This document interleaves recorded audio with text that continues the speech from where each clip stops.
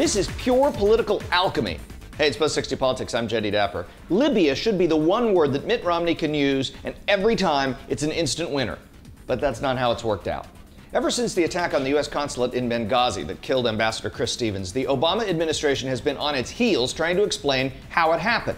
First, it was explained as a spontaneous riot resulting from an anti Islamic YouTube movie, until it was understood to be a planned Al Qaeda attack. Romney's tried to make it a campaign issue, but starting with his premature statements and ending with his debate disaster, he's blown it. It was not a spontaneous demonstration. Is that what you're saying? Please proceed, Governor.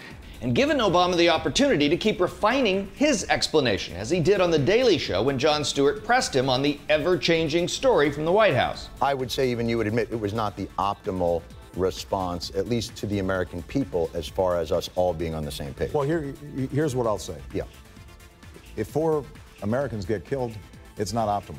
That's not really an answer. But unless Romney can stop stepping on his own message, it looks like the president may escape on this issue, which should be a big winner for Republicans. Buzz 60. Now you know, pass it on.